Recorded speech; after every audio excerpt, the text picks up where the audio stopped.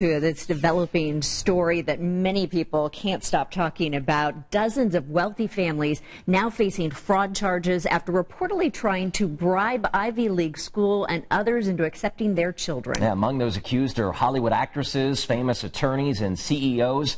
In all, the FBI says 50 people have been charged in the college admissions fraud scheme. And it's estimated that those 50 people paid roughly $25 million combined to try and get their kids into universities like Yale, Stanford, and UCLA. In one case, a parent paid $6.5 million to ensure their child was accepted. This is just crazy. It is. And in the middle of all of this fallout, there are plenty of questions about how they got away with this for so long. So Matt is in our newsroom breaking it down for us this morning. Matt, is just crazier the more you read about this.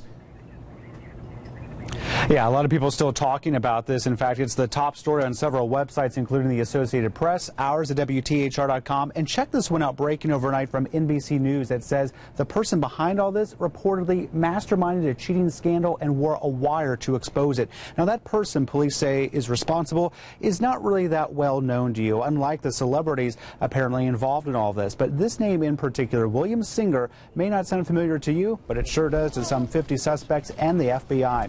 That's because he ran a college prep business and just pled guilty, admitting that parents paid him millions of dollars to get students admitted as athletes, even though many never ever played a single sport. He's accused of photoshopping the faces of children onto pictures of actual athletes and even getting samples of students' handwriting. Singer is accused of then bribing coaches with hundreds of thousands of dollars.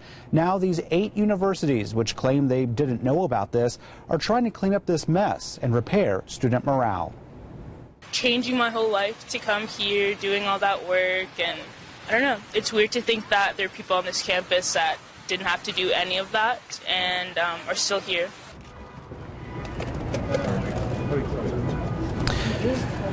Now, court appearances are just now beginning here this morning, and that includes actress Felicity Huffman, who appeared in the Los Angeles courthouse just yesterday afternoon. And then there's also Lori Loughlin from Full House, also charged for her daughter Olivia Jade. Now, that name may sound familiar to teens. That's because she has a big social media presence. In fact, she has a new product that just launched with makeup retailer Sephora. Right now, there's an online petition for Sephora to pull all that product from their shelves.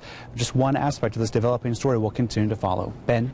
Yeah, I know she is catching a lot of heat on social media. Matt, thank you.